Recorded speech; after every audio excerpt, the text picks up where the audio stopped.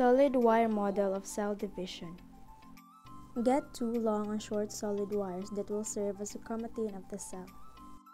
Take a tape, then wrap it around the wire to indicate the position of the centromere. Place the tape in the middle of the longer wires and three-fourths of the shorter wires.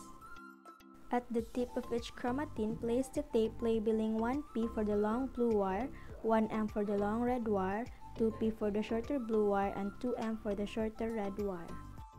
Take another identical set of wires to double the chromatin fiber, then tape the sister chromatids to connect them. Mitosis Prophase In this stage, the chromatin begins to condense and the centrioles begin moving to the opposite ends of the cell, and the fibers extend from the centrioles. In metaphase, the spindle fibers align the chromosomes along the middle of the cell nucleus this line is referred to as the metaphase plate. This organization helps to ensure that in the next phase, when the chromosomes are separated, each new nucleus will receive one copy of each chromosome. In anaphase, the paired chromosomes separate at the kinetochores and move to opposite sides of the cell. Motion results from a combination of kinetochore movement along the spindle microtubules and through the physical interaction of polar microtubules.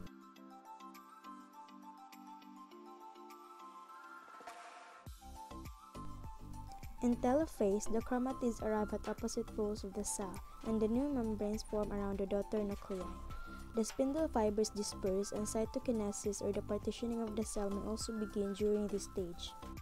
Meiosis 1 In prophase 1, the pairs of chromosomes may then exchange bits of DNA in a process called recombination or crossing over.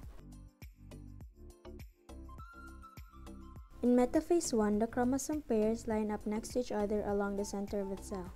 The centrioles are now at opposite poles of the cell with the meiotic spindles extending from them. The meiotic spindle fibers attach to one chromosome of each pair.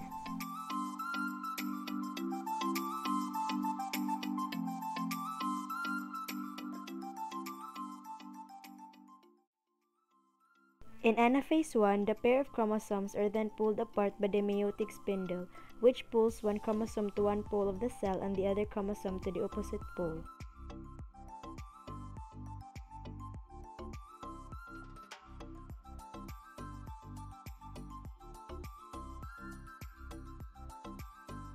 In telophase 1, the chromosomes complete their move to the opposite poles of the cell. A membrane forms around each set of chromosomes to create two new nuclei. The single cell then pinches in the middle to form two separate daughter cells, each containing a full set of chromosomes within a nucleus. This process is known as cytokinesis.